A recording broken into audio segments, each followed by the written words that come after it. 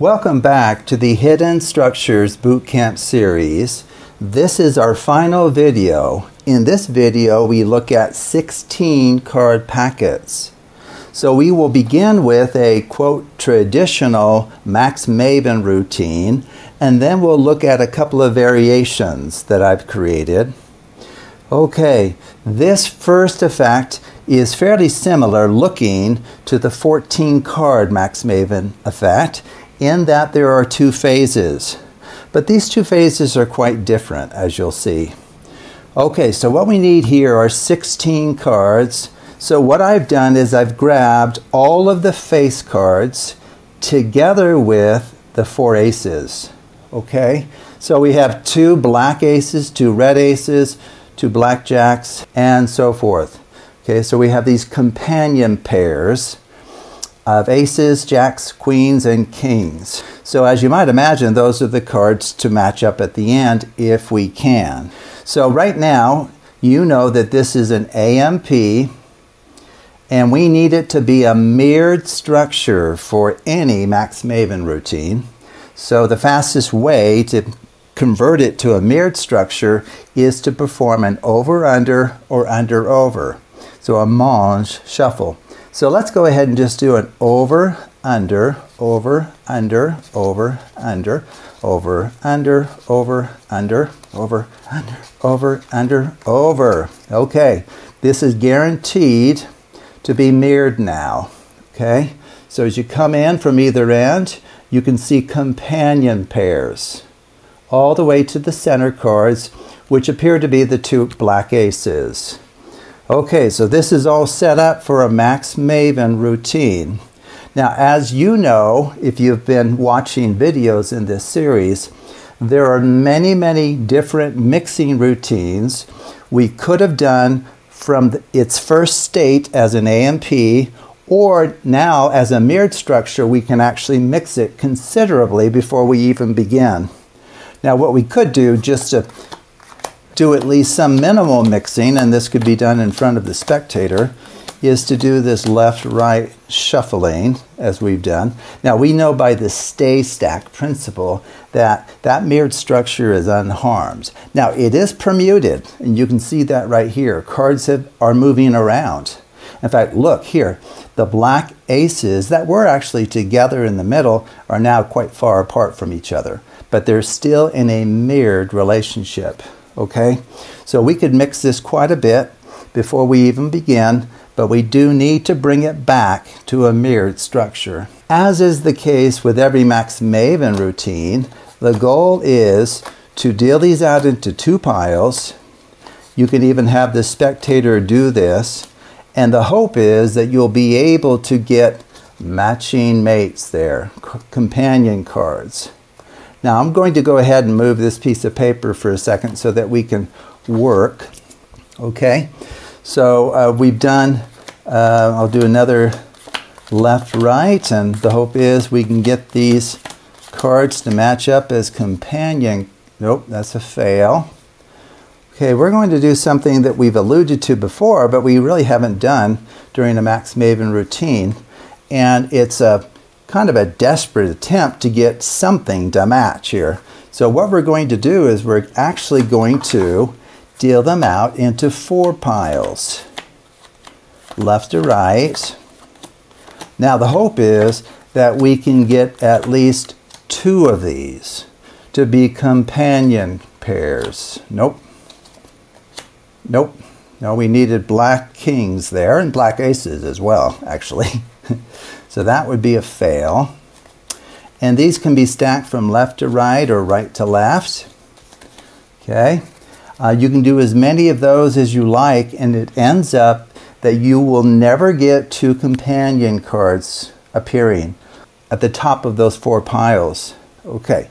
So now, once the spectator is convinced there's something funny about these cards, or they've got to be the most unlucky person alive.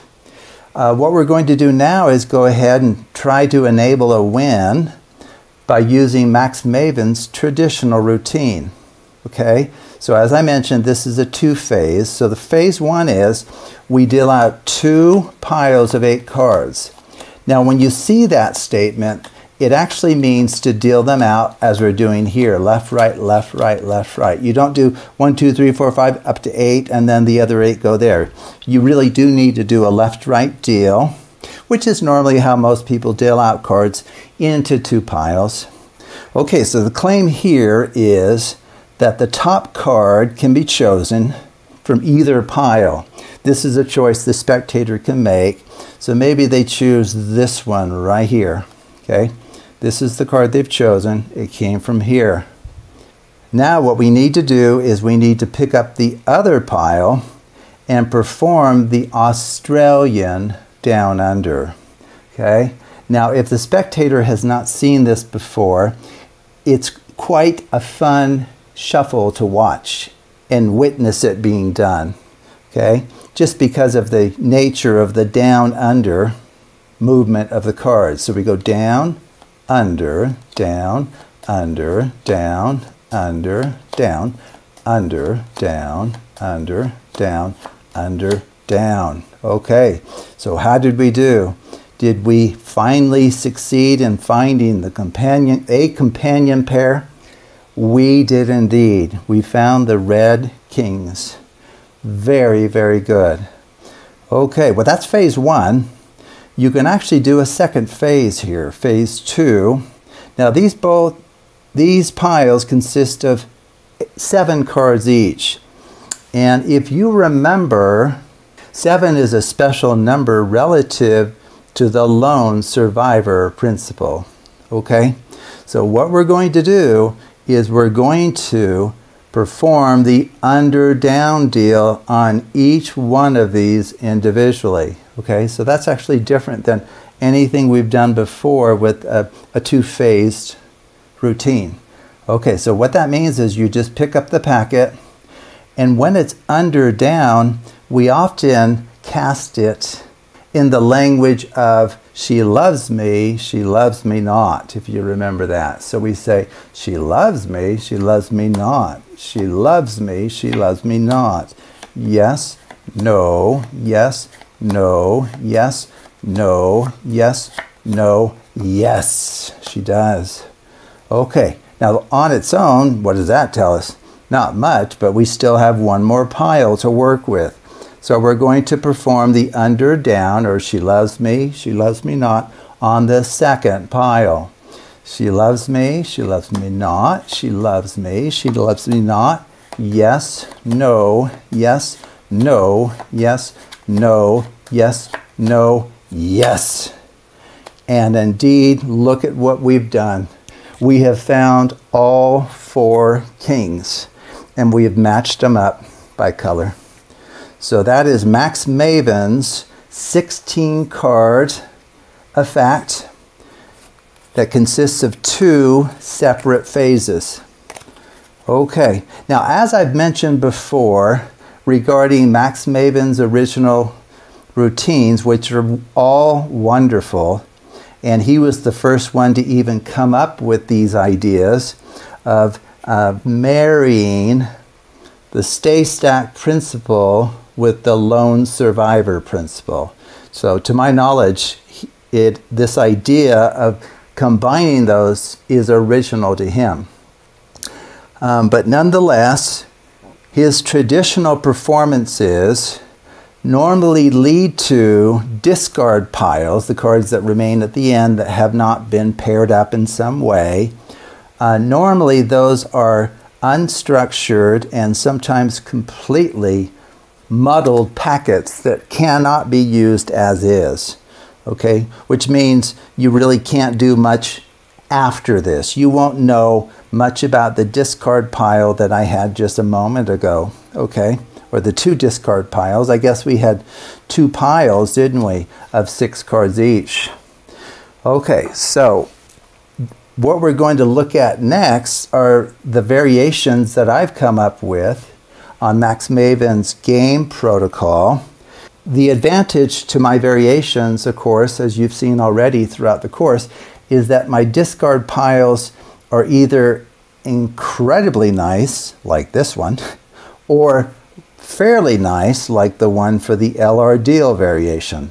Okay? So we do get either highly structured or at least semi-structured packets at the end, which then can be recycled into additional Max Maven-like routines. Okay, so for my Max Maven variations, this first one is a Klondike Shuffle variation.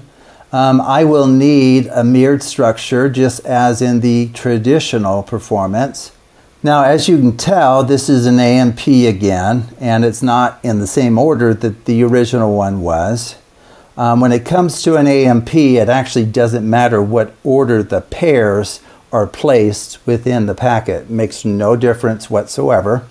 So I just quickly reassembled this. Now, since this is an AMP, to get a mirrored structure, as you know, perhaps the fastest way of doing that is to perform a Monge, as we did earlier. So maybe we'll do an under over and this time instead. So this is where you deal off the top card, and then you go under, over, under, over, under, over, under, over, under, over, under, over, under, over, under. These are new cards, so they're a bit slippery. Okay, so we know that this is a mirrored structure now, okay? And that's something you can check on your own as you're working this. After you've done the Klondike Shuffle and you started with an AMP, you are guaranteed to get a mirrored structure every time. Okay, um, as we mentioned before, this could be mixed considerably using our diagram. Let me bring that up just for a moment to remind you of all of the different shuffles that we can actually do with this packet of 16 cards.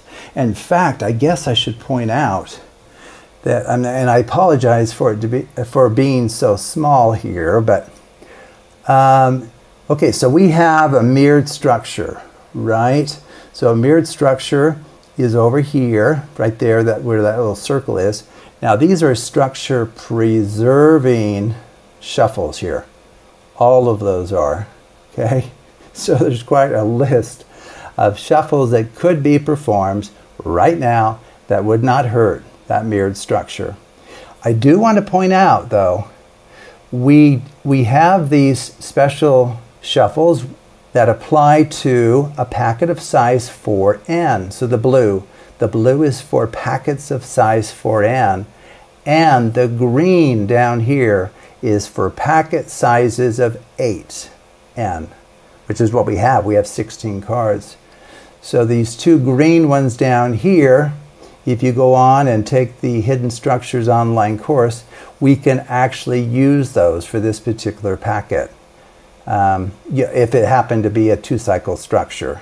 Okay, so we started down here just to remind you we had an AMP and then we came up to, in fact, what we did, let's really review this. So we were down here at an AMP, we came up to a mirrored structure and we performed the Monge to do that. Well, that's not the only way to get there, as you can see over here.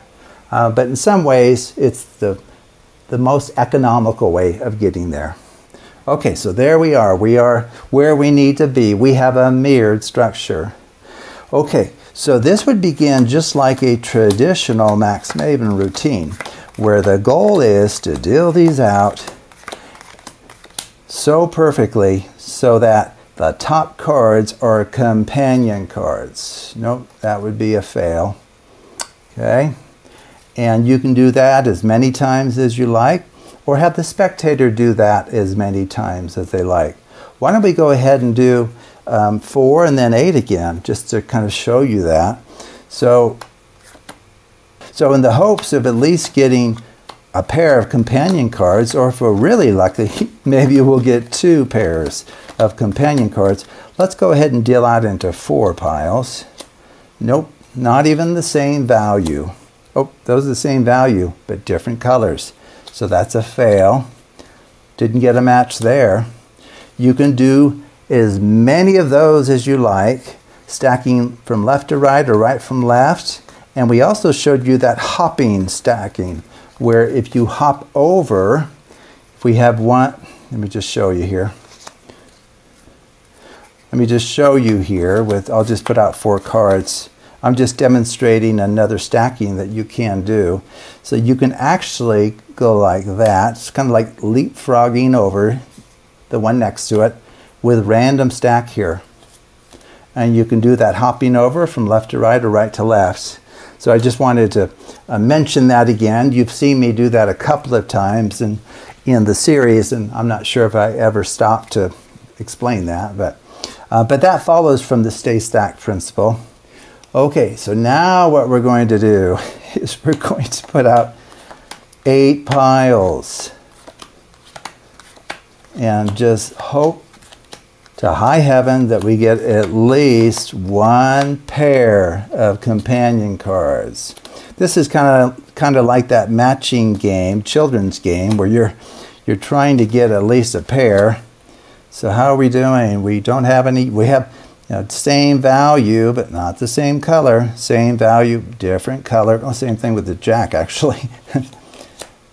and so that is unfortunately a fail.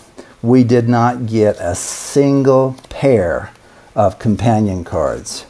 Now, if you think about that happening by chance alone, that's actually not very likely that you would fail and not get a single pair of companion cards. Okay?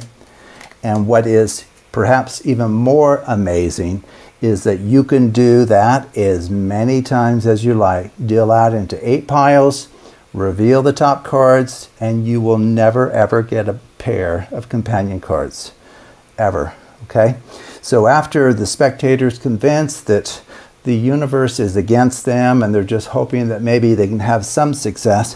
What we're going to do now is we're going to do this Max Maven variation using the Klondike Shuffle. Okay, so you deal out one more time and you ask the spectator to use their intuition to choose the top card of either packet and really emphasize that this is an important choice because you know, if, if one of these is going to work for us and the other one's not, they have kind of a 50 50 chance. So they're really going to have to feel confident with their choice. So maybe they decide to go with this one here as their choice. Okay, now you as the performer need to remember you have eight cards here, you have seven cards here, right? And since these were mirrored piles, remember this came from here, this card here is the companion card to the bottom one here. Okay, you remember that? And if, if that's not clear, then maybe watch some of the earlier videos where we talk about mirrored piles. Okay, so that's the property of these piles here. That this card here is quote paired up with the bottom card there. So they're the mirrored image of each other. That's why we call them mirrored piles. Okay, so if the card of interest is at the bottom, and when we put these together, we're going to have an odd size packet followed by a Klondike shuffle. Where do we want that special card to be? So an odd size packet when Klondike Shuffle will always bring that middle card to the top. It'll be the last one shuffled, right? So if we want this to be the lone survivor, the one at the very end, we need to make sure it's in the middle of this larger packet of 15 cards. Now it is, because it's the eighth card down with seven cards below it. So it is in the middle position. So now when we perform the Klondike Shuffle, remember that's where you take the top and bottom off as one. Okay? Now if you have an old deck, you have to be careful that the cards uh, don't stick. And of course, since we had 15 cards and these are all pairs, we'll have a little lone card here. Well, the fact is, it's going to be the matching mate the companion card to that one there, guaranteed. Okay, so we finally had some success. Now, what's wonderful about this variation, as I mentioned, is that this discard pile of 14 cards is highly structured. We have one revealed pair, which is right here, And then this is a packet of 14 cards that actually forms an AMP. Now remember, an AMP is where you have the matching mates in pairs, moving from the top down. Okay, so this is like we've started over, the whole thing over, except for the fact that we have 14 cards now. Okay, so from here, you could actually perform the 14 card Max Maven routine that we talked about in one of the previous videos. So everything that we did with 14 cards in that vi earlier video, we can do to this packet now because this is a 14 card AMP packet. Okay? Now, here's another choice. Of course, you can always just take these cards and if you just nonchalantly put those on top, where are you? You're back to the beginning with a 16 card AMP. What does that mean? That means you could start this whole thing over again and maybe finish, in fact, maybe we'll do that. We'll finish with the other variation. Okay, so you could you could do this one with the Klondike, and then the packet easily resets so that you can start over and now maybe we'll do the second variation so you can see that involving the LR deal. Okay? Um, I do also want to mention that since this is an AMP, you really could do any of the previous routines involving 12 cards, 10, 8, 6, okay, where you had AMP packets of those sizes. Okay, so really with this packet of 16, you can essentially do everything that we've done before in earlier videos. Okay, you're all ready to go. You just have to choose the right number of cards to work with. Okay, so um, so this is an LR deal variation for the traditional Max Maven, and that was the very first one we showed you today. Now we need a mirrored structure for every Max Maven routine. That's the case here as well. So here we are with an AMP. Well, we need a mirrored. Let's just do it over under as we've done uh, twice already now. so you guys are going to get very, very good at the over under or under over. Okay, that's guaranteed to be mirrored. Now you don't show the spectator that it's mirrored, right? I mean, you don't show them. And when they watch that shuffle, 99% of people watching that shuffle find that shuffle so confusing and convoluted that they would never even dream that the cards are in some kind of special order that's going to help you as the performer. At least that's been my experience. No one's ever said, "Oh, I think that's in a special order of this kind, and it's it's the reason the whole thing worked." Uh, no, I don't think so. I don't think I'll ever find somebody unless they're already familiar with these principles, who will be able to detect that. Okay, so we have a mirrored structure now. It always begins the same with this game protocol. Max, I call it the Max Maven game protocol, where we're trying to get the top cards to match. We're trying to get companion cards. That's a fail. And so we can do left, right, left, right, reveal as many times as you like. You can also deal one, two, three, four, and then you know build those piles up one level at a time. Reveal the tops, and you'll never find a pair of companion cards. And then you can even deal into eight piles from left to right and reveal the top cards, and you won't find a single pair of companion cards, as we've seen already. Okay? And so once the spectator's convinced that, boy, it's really, really difficult to get these cards to match up, you say, well, let's try something different this time. Let's go ahead and just deal them out one more time.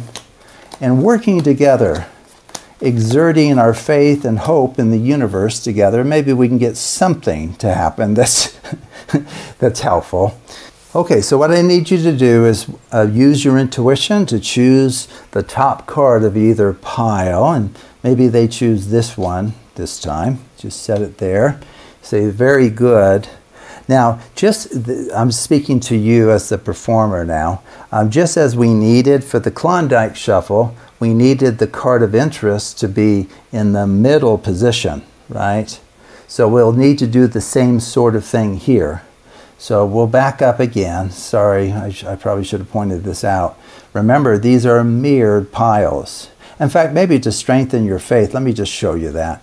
So this card here is the ace of diamonds. It's guaranteed to be the companion card to the bottom one here. That's just the nature, nature of these mirrored piles. And that follows from the stay stack principle. Okay. Well, since you've seen those, maybe we'll choose this one instead. But that's the idea that this top card is the companion to the bottom one of the other pile. Okay, so what that means then is we want that bottom card in the middle of this, this packet of 15 cards. Well, think about it. We have eight here and seven here. So we want their special card in the eighth position from the top. So what we would need to do is just take this larger pile and set it on top of this pile of seven cards. So now it is sandwiched perfectly in the middle. And now the LR deal, or repeat LR deal, is where we do the following. We deal from left to right, and then you retain the odd sized packets. And there's kind of there's an obvious reason for doing that because what we want to do is we want to whittle this down to just one card in the end, just one card. And we want it to be the final card produced by this system of left-right dealing. Okay, we have what, uh, three, six, we have eight cards here, and we have seven cards over here. So this is a discard pile right? We discard that. We keep the odd size pile. So here it's the smaller pile, smaller of the two. So you can just set this aside. This is a discard pile. Now, as we'll see, it has fairly decent structure though, right? we'll look at that at the end. Okay, and so we just continue on. We're doing this left-right dealing and then eliminating the even size piles and keeping the odd size piles. So here we have three, so we'll set this one aside. We don't need those. So now we're down to three. And so dealing these left, right, left, right will end with a single card on its own, namely this card here. And we're just hoping that this is the companion card to that one. So we're hoping for the Jack of Diamonds. And we indeed got the Jack of Diamonds. Okay. So that is the LR deal variation that I came up with. Um, now I mentioned over here that this packet of eight cards, remember we have eight cards here, is a mirrored structure right now. Isn't that wonderful? this, this is mirrored relative to card value and color. So companion cards, companion cards as you come into the middle, those two black queens. That's a mirrored structure relative to value and color. Wonderful. The little packet of four cards right here is also mirrored. Isn't that great? And by the way, this will always happen. It doesn't matter how you're doing the left right dealing and so forth, or what decisions were made earlier. Um, as long as you start with a mirrored packet, right, you have to kind of follow that main initial assumption about how you start and then we, it claims right here we have a pair. A pair of what? A pair of, a companion pair of cards. Isn't that great? And then we have our revealed pair. R is for revealed. Revealed pair. Okay? So what we have here then, if you think about it, we have a couple of companion cards. If I put those together, this is a little baby AMP, right? And then this is a four card mirrored structure, and this is an eight card mirrored structure. Okay? So there's a number of ways to finish from here, actually, if you wanted to. What we could have done, let's just go back in time for a second, not too far back. I'm going to just put that back, put this back. Now we had just revealed these, maybe in the opposite order, and then we had these uh, another, we had another discard pile. Okay. Um, well, knowing that this is an eight pile mirrored structure, we could actually go back and do a max maven routine that involves eight cards. That would work just fine. Um, But a, a wonderful way to work finish here is is to say, wow, okay, you finally got two to, to match. Isn't that wonderful? After all of those failed attempts, we finally succeeded. Well, I, I have a feeling that you maybe did even better than just this. I, I have a feeling that, let's see, yes. Yeah, yeah, I think so. I have a feeling that these are companion cards too. And they are indeed. And over here, hmm, are these companion cards? Uh, no, I don't think so. But I have a feeling that they're on opposite ends of each other. So if I go like that, I get a pair. Oh, I get two red queens. Hmm, I wonder if that clever little thing will work for these as well. Let's see. Ah, that's not likely, is it? Oh, well, it's probably not likely, but it happened. Oh, no way, no way. We're going to have to fail at some point. Oh, I can't believe this. We got every single one of those companion cards matching up perfectly. How in the world did you do that?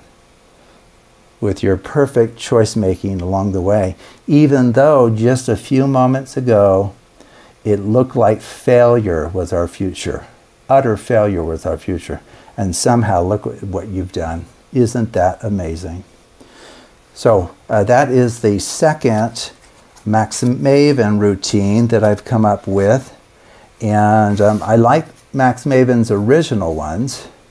And perhaps what I like most about these is the fact that he even discovered and and pointed me and perhaps others, I don't know of any others, but perhaps others to um, study what is really going on with these routines mathematically. And that has led to a lot of wonderful results that I don't think I would have even thought to look for if Max Maven hadn't pointed the way. So um, I do appreciate his work. Okay, very good. Now there is something special about a 16 card packet that we really should talk about. So let me bring up our little diagram here. So down here under lone survivor, now I've essentially written all of that information over here plus some uh, because I know that's very, uh, very small for you to read on the screen. Um, uh, but the lone survivor for the under down and down under deal um, is very nice if it's a power of 2. So we saw that with 8. 8 is 2 cubed, and so some wonderful things happen there. Now we've hit another power of 2, 2 to the fourth. Okay, so recall how this works. So for the lone survivor principle, for the under down deal, and so that's the one where we, we say, she loves me, she loves me not, you know, as we move the cards about, right? So how this works is you take the packet size and then you write it as the highest power of 2 that is less than or equal to the number, and then there may be a remainder needed to actually get equality. Well, in this case, there's no remainder needed. The, the remainder is 0. Okay, so for the under-down deal, and this is going back several videos, if you recall, once you've actually expressed the packet size as the power of 2 plus a remainder. To find the position of the lone survivor, it's going to be 2 times your remainder. This is L right here. L is 0 plus 1. So if you do the calculation there, it's 2 times 0, which is 0, plus 1. So it comes out to just be 1. And then recall that when you have a packet, so you have a top card, you have a top chord, second, third, fourth, fifth, all the way down to the bottom. Remember, the top card is denoted or labeled with a 1. Okay, so that's the correct labeling for the position of those cards. The top card is position 1, all the way down to the bottom card. Now, the bottom card, in the case of this power of 2, the bottom card actually will be labeled 0. Okay? And so if you want to think about 16 is 0 modulo 16. Okay? So the the numbering is 1, 2, 3, 4, 5, 15, and then quote 0 for the bottom. Okay, why is that important? Well, it's important here, right? Because for the down under, the only difference is they're off by just one position here. And that makes sense because here you're putting the top card under and then the next one down. So you're really getting rid of the even position cards when you do that. And then here, the down under, well, that first card set down is the top card, which has position one, so it's kind of killed off. So the down under gets rid of all of the odd position cards and keeps the even position cards. And then with our formula here, 2 times L, where L is 0, we get a position of 0. Well, what that denotes simply is the bottom card of the packet. Okay, so how you do this then is you you can be given any packet, any packet of 16 cards. Okay, so we have this uh, we have this packet that we've been using, right? So let me just kind of mix it a little bit here. So you just ask the spectator and say, can you hand me any 16 cards whatsoever? Okay. Well, uh, one thing you can do, I mean, this is just something fun you can do with the lone survivor principle in this case, is for a packet of 16 cards, um, you just ask for those back from the spectator. Okay? So what you could do is just show them the cards and, and ask them if they're happy with the order of the cards. So you're kind of ostensibly just showing them the cards and say, are you happy with the mixing or do you want to mix further? Well, at some point they're going to say they're done, right? They're done mixing. Well, what you need to do is just catch a glimpse of the value, the identity of the top card. Okay, so you see that there's a king of clubs on top. Now, you don't make a big deal about that. In fact, you don't even draw attention to it. You're just secretly noting that. And it's very, very unlikely the spectator is going to remember. Oh, I seem to remember that the top card was the king of clubs. No way. that's not going to happen. Okay, so you know the identity of the top card, and that's the only one you need to know. Well, guess what? Using the under down deal and knowing the identity of the top card, you can do something quite surprising. Okay? So you can explain and say, boy, there's this really interesting shuffle. It's called She Loves Me, She Loves Me Not. And um, if you do it in just the right way, it will actually finish with your favorite card. Now, of course, that's a fib, right? Um, this is all drama here, right? And my favorite card, I don't know if you know this, but my favorite card is the King of Clubs. It always has been, okay? So you have, let me just an editorial note. You have to realize in the world of magic, you agreed to be fooled if possible, right? You, you kind of sign up for that. So we can call this misdirection here, all of my little fibs along the way, okay? Um, so, you know, you claim, oh, that's my favorite card, and you say, well, there's something special about this under down. It seems to always locate the person's favorite card. So let's see if it finds my favorite card. And so you do the under, down, or sorry, down. We're supposed to be doing she loves me, she loves me not. Okay. she loves me, she loves me not. She loves me, she loves me not.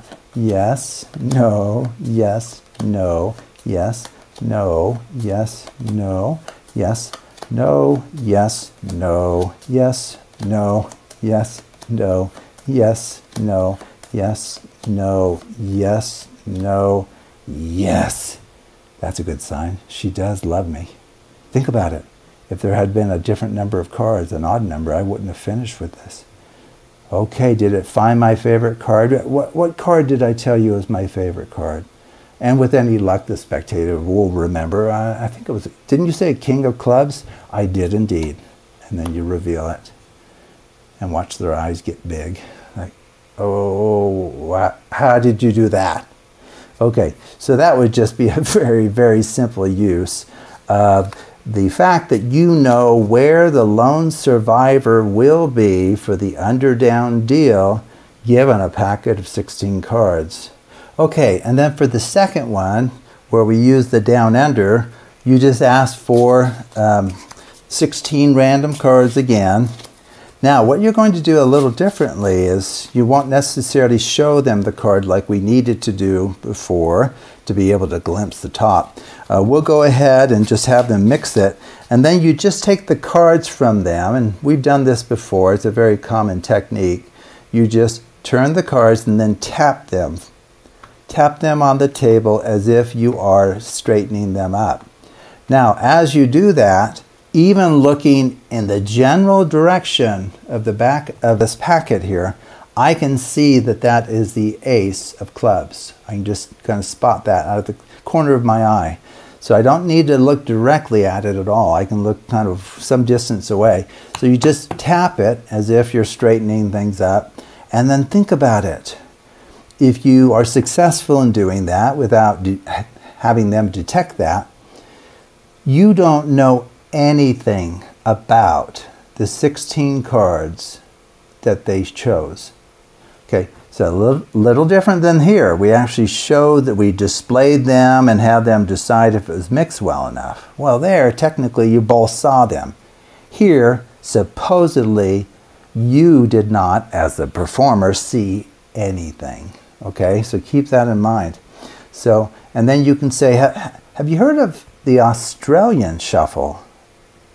Because I've kind of discovered it recently. It's a really, really cool shuffle. Have you heard of the Australian shuffle? And most people will say no.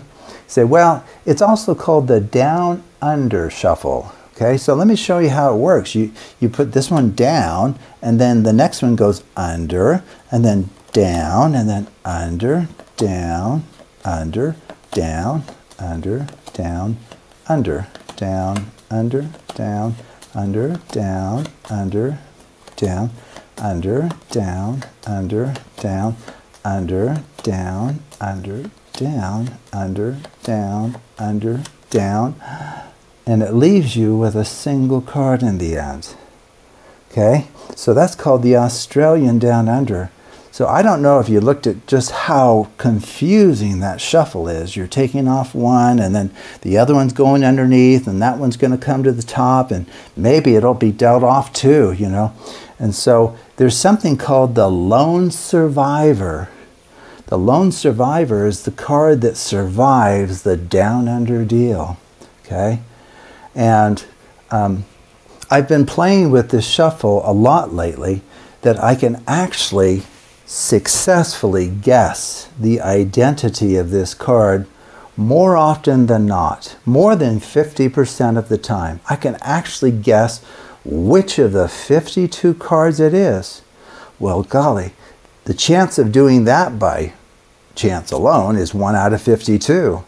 But I can do it more than half the time. Do you want me to try? Okay, great. Let me see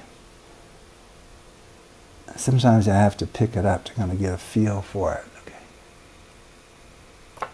Sometimes they make a sound too, depending on what the color is. I think it's black.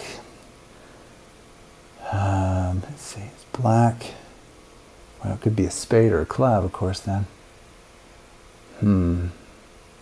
My mind's eye, I'm seeing something, the outline of something that looks kind of like a club. So I think it's a club and the value is a lighter than some of the others. In fact, it's really light. I'll, I'll bet you it's an ace.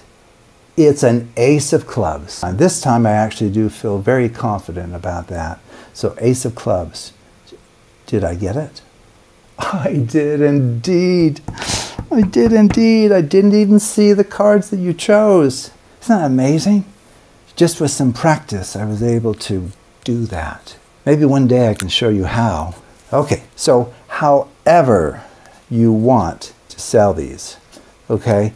So all of these different little explanations I make up on the spot. Now, maybe it looks obvious, maybe it's obvious that I do, um, but you can come up with so many different ways to explain why the outcome is surprising.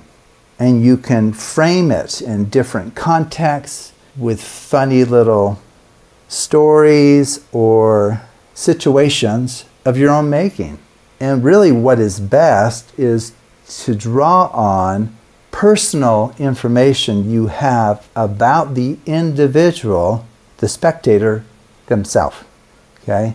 So if you know something about them, like for example, if, if they happen to be Australian, isn't that wonderful? You can really take advantage of, of the fact that this is the down under shuffle. So, um, so it really is a matter of personality and imagination to come up with different ways of framing all of these, okay? So I'm, I'm kind of showing you uh, the mechanics, a little bit of the mathematics and just this brief boot camp series. Um, and hopefully I've given you some fairly decent narratives that you can use almost as is. But if you want to modify them or come up with your own unique ones, that would be wonderful. Okay, this next effect is called the clock arithmetic routine and it involves this swapping procedure that we saw earlier in the series. Okay, so let me go ahead and demonstrate it, and then we'll talk about how I accomplished what I did. Okay, so I have here 16 cards, as you can see. I have 16 cards I've grabbed from the deck. And um, now, because we've actually shown you the cards, we probably better mix these up here. Okay, so I want to mix you know, I saw them, you saw them. Um, the goal, actually, of our activity today is to test the quality of your decision making. Okay, so it's actually important that you not remember where things are. So, uh, would you like me to stack left on right or right on left? Okay. Uh, why don't we go ahead and deal into four piles uh, just to be safe here? Uh, I don't want you to maybe remember anything about these cards. Now, you want me to stack left to right or left to right? Okay, that's fine. Okay, maybe we'll do one more just to be safe here. I just don't want to compromise the integrity of our test here. Okay, you want me to stack left to right, right, left to right again? Okay, that's just fine. Okay. Very good. So let me just set that down. Oh, I should mention that I have a written prediction over here. And I'm going to leave it in camera view the whole time, okay, so that you know uh, nothing, no funny business has been carried out, right? Okay, so how are we going to test your decision making abilities?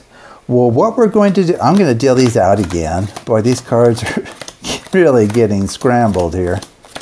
Okay, there you go. So I have two piles of eight cards in each. Okay, two piles of eight.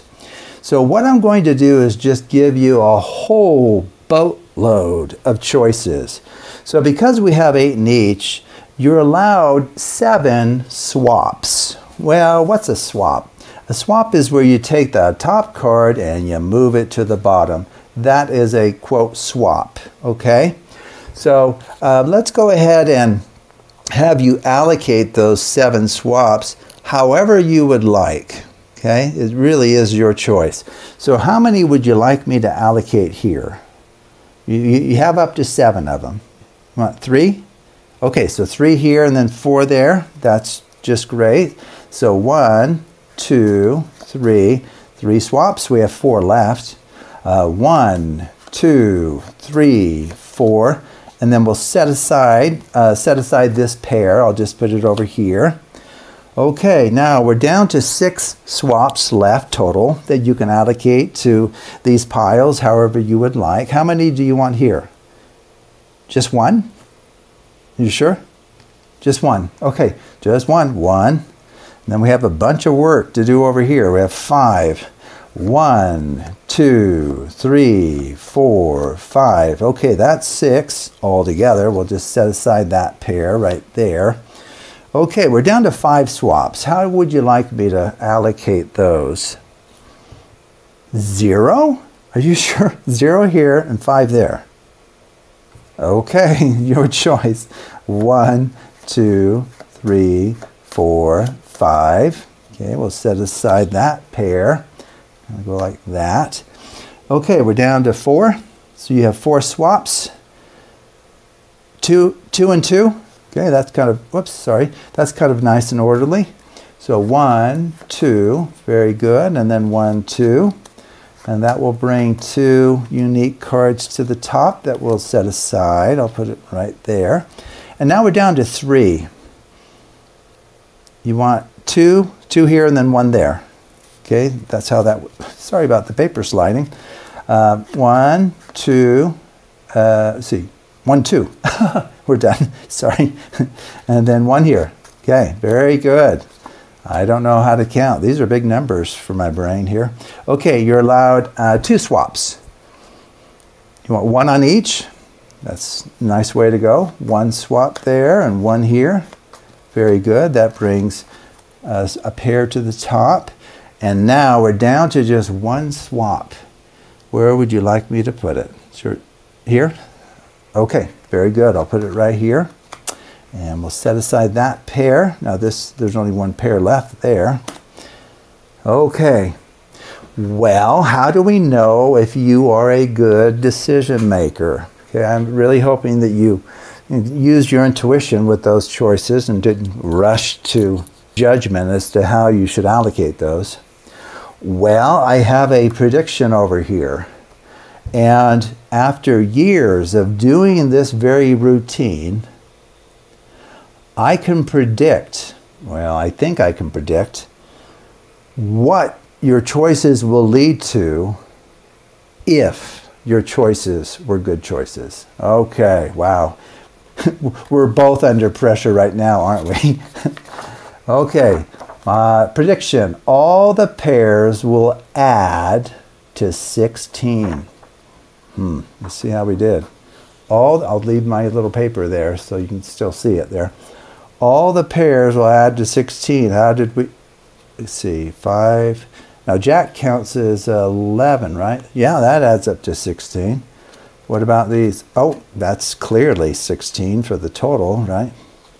You're doing well. Oh, 9 and 7, 16. Good job. 4 and a queen. Very good.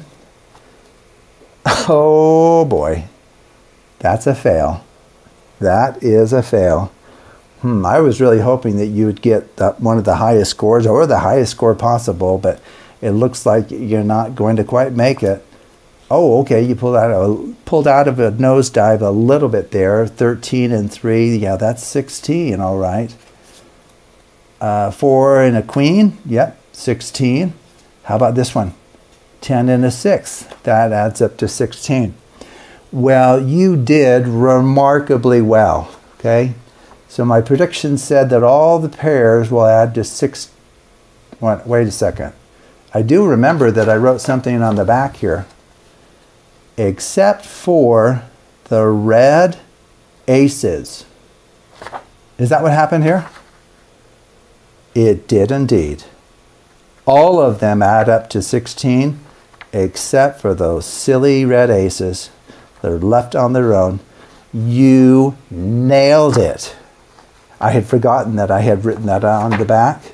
You nailed it. You got a hundred percent on this choice making test. So anyway, that's the that's the effect. Um, as I've mentioned before, you can come up with your own narrative as to how to frame this. Okay, that's when I thought of just minutes before, as always, minutes before recording. I thought, oh, well, maybe I'll do it like this and see how it goes, okay? So if you give it a bit of thought and maybe more thought than I did, you can probably come up with something better than what I've just done there. Okay, so how does this work? Well, what was needed, and you know, we can't um, in the boot camp series, as you know, we can't go too deep into the mathematics always with these effects because the videos, well, that's what the Hidden Structures online course is about. Um, but just recall, we're, we're in a good place right now, by the way. So the, the, right now in pairs, they're adding to 16. This is a good place. In fact, this is where I started. Um, in, in terms of building the deck, the packet, this is what I did. I built these very pairs, actually. We've actually recovered the very pairs that I set up. And then what I did was you'll note that this is, quote, an AMP relative to cards adding up to 16, except for this pair of red aces. All of the other pairs add to 16. And that's what I've written on the paper. I said all of the pairs will add to 16, and then on the back, except for the red aces. So this is an AMP relative to the pairings that I have in mind, right? Well, I need a mirrored structure for the clock arithmetic routine. I need it to be mirrored.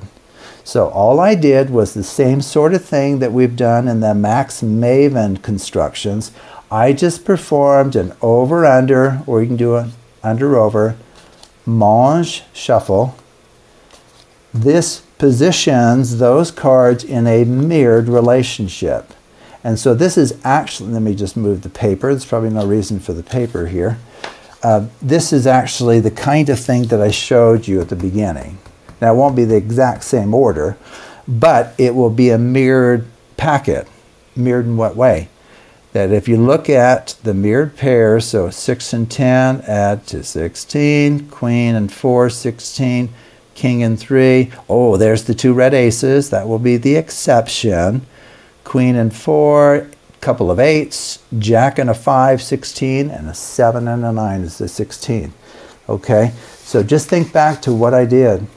So I, I said, well, you know, we, we both saw these cards, which is true. So I, I think to make this fair, we, we better mix these a bit. Well, this is a mirrored packet, and I'm performing the LR shuffle. Well, the stay stack principle says this mirrored structure will remain. It won't be harmed.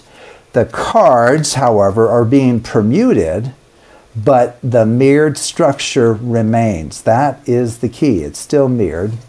Okay? And then I even did four piles. Well, this is still the stay stack principle. Okay? Stay stack principle. And it doesn't matter. You can stack from left to right or right to left. Okay? And then once you're convincing the spectator that the cards are sufficiently scrambled, that no one knows where things are, and that is actually true. I have no idea. I, know, I suppose that when we saw the cards, and if we were geniuses and could track all 16 as we were doing those shuffles, then I suppose theoretically you could know the exact composition of the you know, exact order of this packet. Uh, but that would be a superhuman feat, I believe. So anyway, so I have no idea like what's on top or bottom. Well, there you go. I know that's on bottom, you know. Oh, by the way, what would have to be on top? Remember, this is mirrored. If nine's on the bottom, then seven better be on top because we know they add to 16. Um, so at this point, it's ready for this swapping procedure. So we just need a couple of mirrored piles, and that's what these are. Okay, so if you remember how this works, is the top card here is related to the bottom card there. Related, the relation here is that they add to 16, or there are a couple of red aces, right? Okay, and same thing here. This one, whatever it is, is related to the bottom one here, and it is. Their sum is 16, okay? So because, because, um, in fact, we may have actually talked about the mechanics of this in terms of under, seeing why the swapping procedure actually works. But if you think about this mirrored relationship, if we now, see we have 8 and 8 here, if you allow seven swaps total, what it does is it brings companion. So right now they're like like this one's on top and its companions way down there in the bottom. So if you perform the swaps, what what it does is it brings them into alignment.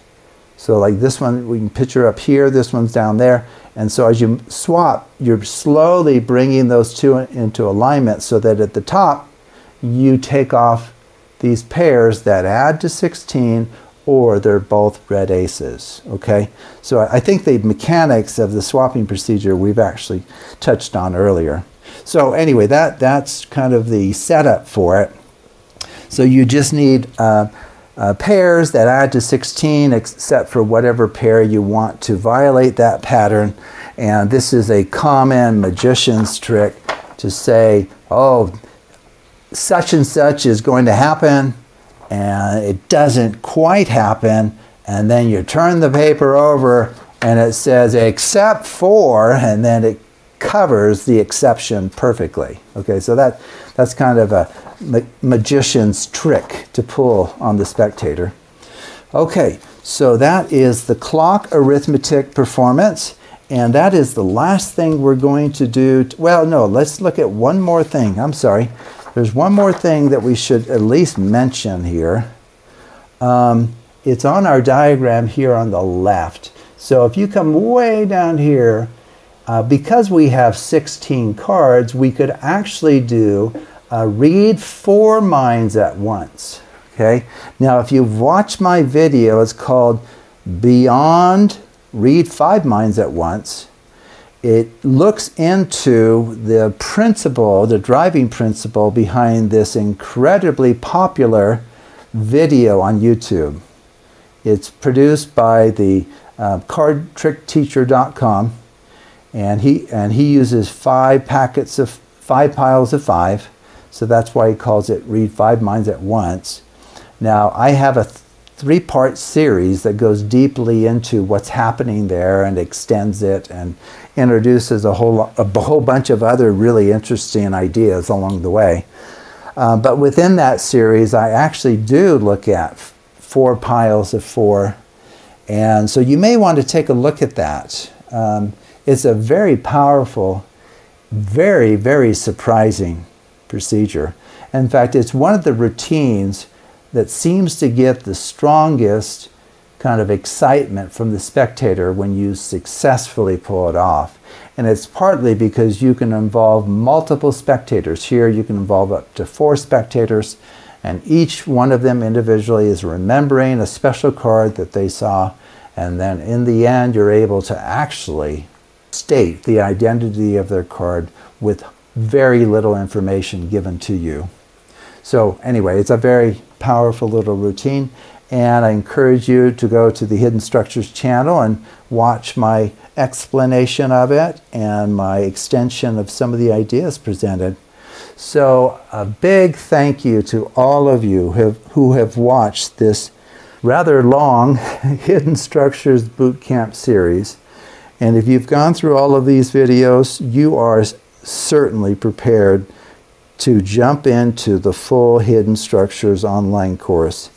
So thank you, thank you for watching and take a look at my other series or some of my shorts or some of the other demonstrations that I have on the Hidden Structures channel.